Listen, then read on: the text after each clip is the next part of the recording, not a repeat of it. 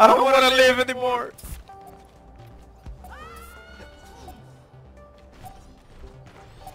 Let's up the tempo.